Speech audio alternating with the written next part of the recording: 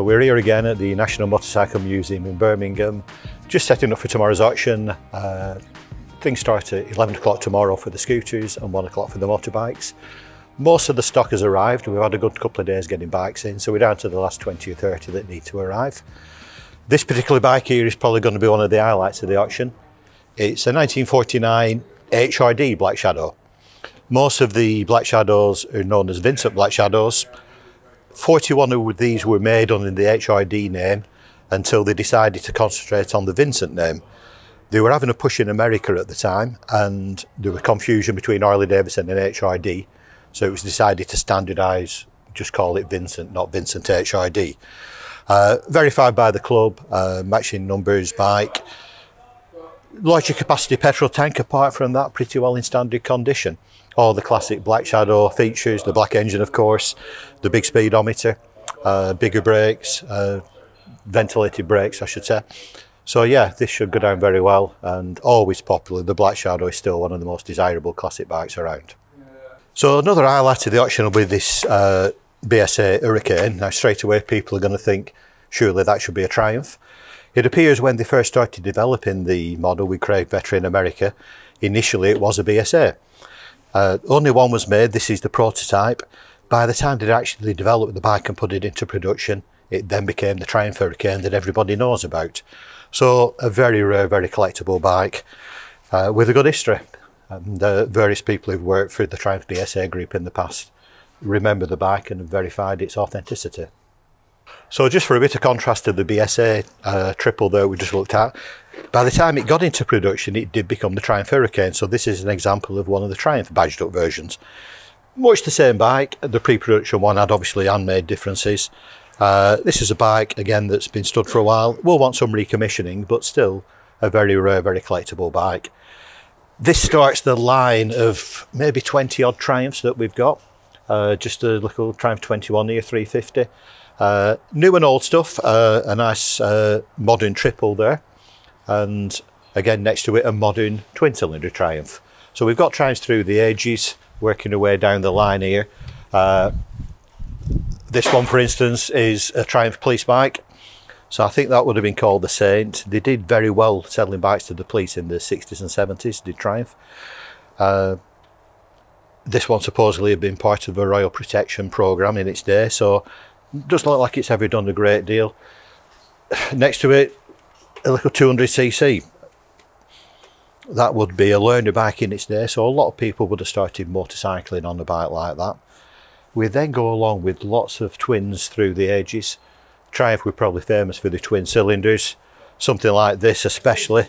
Uh, that's an early speed twin, maybe 1950ish, I'd guess out we have in Teleforks. And that's the classic Triumph layout, twin cylinder, parallel twin. And became, like I said, their sort of uh, trademark. This one, uh, having said they made twin cylinders, obviously they then went on to the triple, so like the Hurricanes down there, this is the three cylinder. So we've got a few versions of this again through the ages. Uh, different tanks and different layouts just dictate which is which. Uh, another couple of interesting ones here. It's a 250, uh, but that would have probably gone down well in America. Trailblazer, it's called that one. So 250 single cylinder engine, but with more of a trail bike layout. This one here, Tiger Trail, Again, very few of these about. I think there's probably only a couple of hundred of these were made. Twin cylinder engine, but in more of an enduro or almost Paris Dakar style uh, layout. So down the right hand side of the room, it's essentially Triumphs. Left hand side of the room, mainly BSAs, other assorted British ones, Norton, uh, Royal Enfield, uh, AJS at the end there. Ariel, this one, Ariel Leader, in the early 60s, Ariel, part of the BSA group, went down this route of fully enclosed bikes. So you bought a bike here with more carrying space, full weather protection, two-stroke twin cylinder engine. So again, unusual for the British to be doing that. They were essentially four-stroke singles and twins. Lasted for a few years, but eventually the Japanese domination took over and Ariel faded away probably in the mid-60s. Nice original bike here has all the extras like the panniers and the screen. So a nice simple recommissioning job for somebody to end up with something a bit more unusual. Uh, next to it, Triton, again always popular, Triumph Norton combination. It's the classic cafe racer is that. It's got the best of both worlds, the Triumph engine with the Norton frame. Big petrol tank, small seat, nice traditional layout. Uh, That's the Norton Dominator, so that would have been maybe that bike, still with a Norton engine in it. That one's been stood in somebody's dining room for years, so it wants a good recommissioning, but it's essentially all there and nice and original. A few more Nortons along the line here. Uh, then we move to the BSAs. This one here, uh, where we said we had the Triumph Trident, the three cylinder, there were also the BSA version. So again, same three cylinder engine. That's an early one, still with drum brakes on it. And the two ran side by side, BSA and Triumph, almost in competition with each other. But underneath it all, essentially the same bike. Uh, again, twin cylinders here, two very similar ones here, later 650 unit construction twins. Uh, end of the line here, the classic BSA Gold Star really, you know, that would be the uh, sort of cafe racer rocker's dream bike in the 60s. 500 single, but very high performance. Not the easiest bike to ride and live with, but really an iconic bike from the 1960s. So this is the room where we have the doc's office and the bidder's reg and payment desk and everything. But essentially this is full of pre-war bikes. Roughly everything that has girder forks we've put in this room. Like this Triumph here, single cylinder Triumph. Pre-war stuff, perhaps a bit more variety if you start looking carefully. Side valve, overhead valve engines, single cylinder, twin cylinder. There's a Douglas somewhere behind here, I've just noticed, with the fore and aft twin cylinder engine. So a very interesting room to look at. Some of these bikes are 100 years old as well, so there's some real history in here. Uh, something like the BSA there, reputedly used in the 1913 TT. So 110 years ago, that would have been a TT bike, believe it or not. Uh, Another one here, this is a Sunbeam, a name you don't see now, obviously. It did survive quite a while, into the 50s probably. But uh, in its day, that would have been very much as good as it got. This Douglas then, interesting bike, very unusual engine configuration for motorbikes in that cylinders point forwards and backwards. They normally point up, sometimes out either side, sometimes in a V, but this is a fore and aft design. Something that didn't really catch on. Uh, very few manufacturers probably copied that design, so it makes it a very standout, unusual bike. Now we have the off-road corner, mainly trials bikes. Through the ages again, uh, if you look at the AJS, the Norton and uh, Royal Enfield there, these were built by the factories in the 50s and 60s as competition trials bikes. Very heavy bikes, 500cc, single cylinder engine, so plenty of weight. You can see the development as you get into the Dot and the Greaves They'd now started putting essentially Villiers lightweight two-stroke engines in. So far lighter, simpler bikes to uh, compete on, simpler to maintain and so enough power to get through with the trials and the scrambles. I think one of them here is a Greaves Hawkstone scrambles bike. Greaves always distinctive with the leading link front fork, so there's a Greaves Hawkstone, like I said, and a Greaves Scottish trials bike in this corner. Velocette corner now, and unusually with a lot of Velocettes. Normally it's Gold Stars that we're inundated with, but this time various Velocettes, essentially 350 and 500 singles, right across the board, Vipers, uh, Thruxtons, Venoms, some modified, some Clubmans.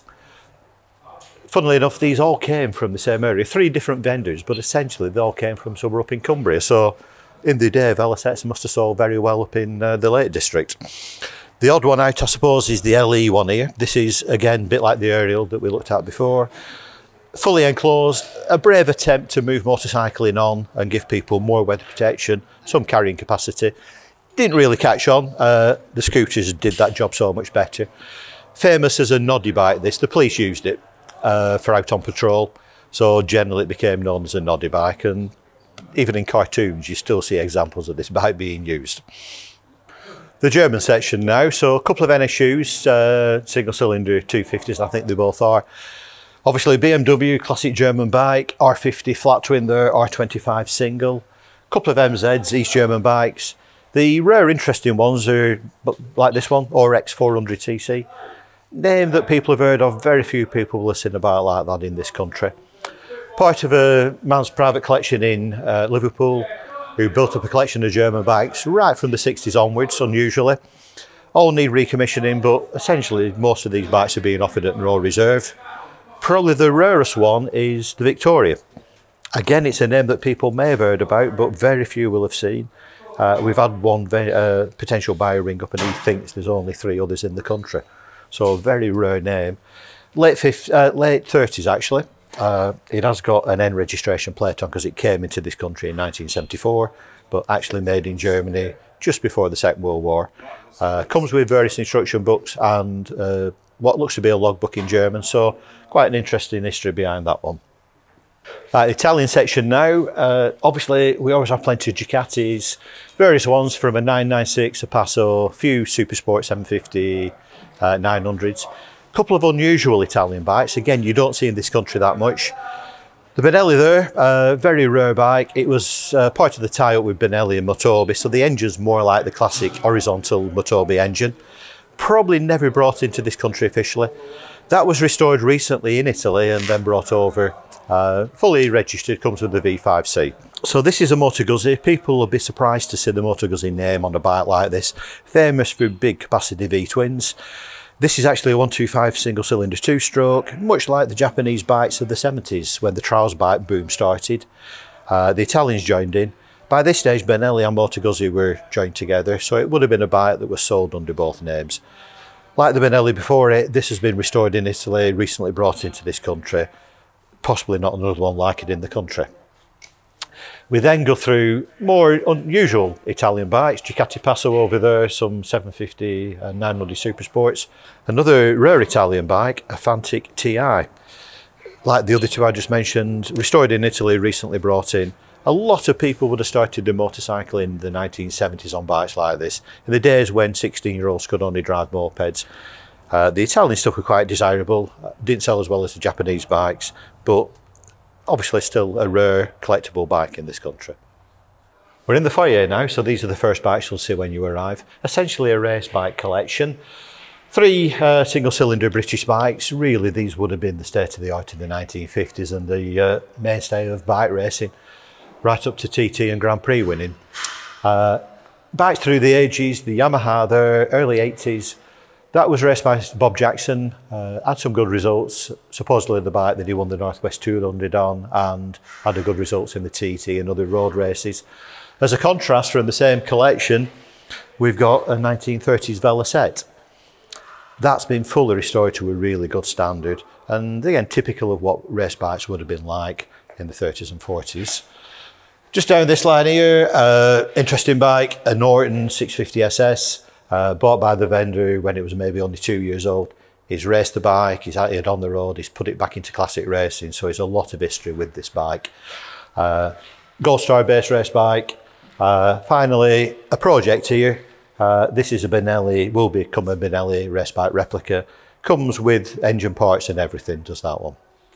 So Japanese section now, uh, like you find in all the recent auctions, this is becoming increasingly popular. We're now at the point where we've probably got as many Japanese bikes as we have British bikes. Obviously Japanese bikes, Kawasaki, Yamaha, Honda, Suzuki essentially. If you look at this one here, this is a 1972 GT 750. Obviously a very vivid colour scheme. Back in the 70s paint jobs were very much in your face. Famous candy lavender paint scheme on this, or some people call it pink. Three cylinder water cooled triple, fully restored at great expense. So RD 350LC, really going to become one of the most collectible bikes from that era. It's the sort of bike a lot of people owned, and if they didn't own one, they actually wanted one. Nice condition, this one, fully restored. It's got all the right bits, the standard exhaust and all the right bits of colour scheme on it.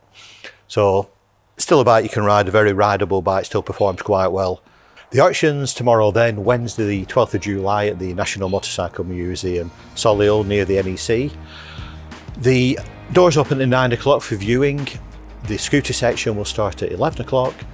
Uh, they'll probably last for the first hour, then we'll have a brief rest, and then the motorcycle section will start at 1 and run through the afternoon. With 40 odd scooters and nearly 200 motorbikes to get through, so it'll be a full day of a job. So, three ways of bidding in the auction. Uh, the best way, obviously, is to come and view the bikes and join in and bid live in person. If you can't make it to the auction, you can always bid online or you can ring up and book a telephone bid. More details available on www.hnh.co.uk. So we hope lots of you can join us tomorrow and come and enjoy the auction.